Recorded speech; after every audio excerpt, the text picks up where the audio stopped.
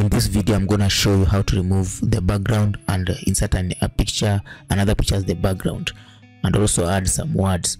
So this is what we're going to do. I'm sure i'm sure you want to use Movavi Picverse so i'll just come here open photo then i'll choose this lady here. After that i'm going to come here and uh, change background.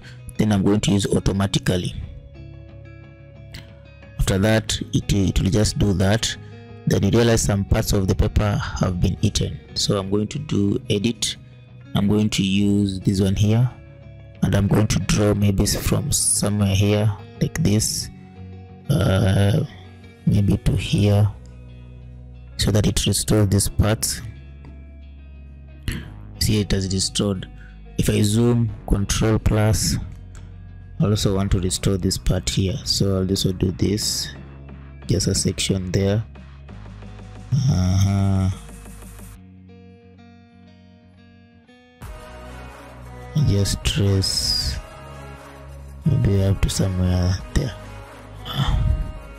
I'll apply. After applying uh, the next thing I'm going to do I'm going to come image here. And I'll click this one to insert a new image. Then I'll just insert this one here open. Then there we are I'll expand this lady here up to there just like that. Then I'll just click finish. Are done. Then I'm going to insert text.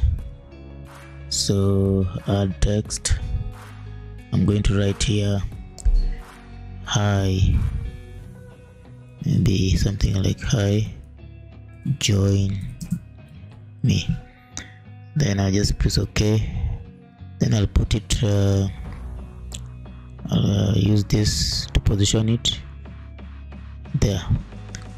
And decide to change the color the background yeah you can uh, to do that. Maybe change the background something else maybe greenish uh, or uh, white or you can just uh, choose this color here just like that. So that is that I've changed the background. I've added text. And then here we are. It's just a matter of being creative.